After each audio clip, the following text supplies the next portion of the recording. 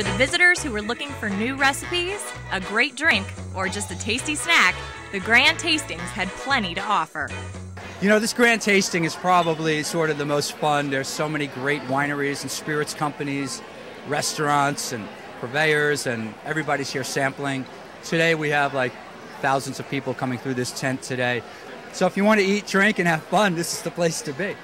We do uh, events all throughout New York year round, but the Wine and Food Festival is definitely one of the biggest. The food bank benefits because we get, are getting 100% of the ticket sale proceeds, sharing with Share Our Strength. Share Our Strength, uh, Children's Hunger Organization. Our mission is to end childhood hunger by the year 2015. It's always good to give something back because if you think about it, not everybody is lucky in the way that we are, and there is people out there that they don't realize, even if they have little, how much they have. We're so big on fighting against hunger at ShopRite through our Partners in Caring effort, and it's just a huge honor. So thank you to everybody for coming out. I hope everybody has a chance to try some of our delicious foods. We feel it's uh, a great venue for us to showcase our product. Uh, all our, we have 20 restaurants on new ships. We uh, promote freestyle. We have a lot of freestanding restaurants of all all ethnic uh, varieties. So, and you're in New York. I think all of the chefs here, all of the foodies here, we're always looking for new ideas, new techniques, new tips. And I think our message, ShopRite's message, is really about authenticity. So if you're gonna if you're gonna buy what's called an Italian olive oil, that it really is olives from Italy. It's about authenticity. You don't have to use a million ingredients, but whatever you use in your dishes, use the quality, the best quality you can get.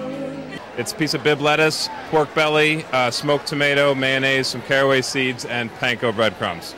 Now, how do you decide what you're going to present here at the event? Um, I think we definitely want to use something that's on the menu so people can have it and they say like, oh wow, that's great, so they can actually come and have it. Um, but also like logistically, we're cooking in a tent on a pier in the Hudson. You know what I mean? So it has to like make sense.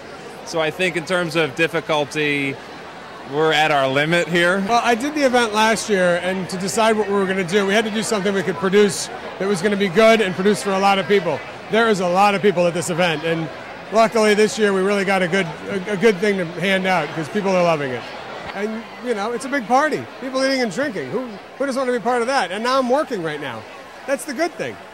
Don Q Ram, first ram in Puerto Rico. Uh, I don't even work with them. I just like it. You know, they infuse the ram with all kinds of flavor.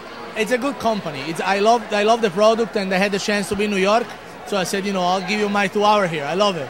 The New York Wine and Food Festival brings some of the finest food and the finest wine um, that New York City and, and, really the world has to offer. So we're really excited to be here. Um, we have um, our new glass range of products. Um, and this is Evian Natural Spring Water, um, as well as a sparkling companion. This is Badoit Sparkling Natural Mineral Water. The perfect complement to a fine dining experience. We're really excited to showcase the, the new packaging um, that looks really great on any uh, dining table. Uh, this is Veev. It's an acai spirit. It mixes and drinks like a vodka. It's the acai spirit from Brazil, thought to be the healthiest fruit on the planet. It's rich in antioxidants and nutrients. And these are all fresh, locally sourced organic ingredients that we like to mix with the Veev and have people try it. It's a good way for them to be creative and try something new. For somebody who is visiting this tent for the very first time, what's your advice? I would start slow and I come here first because our food is really good and take it easy on the uh,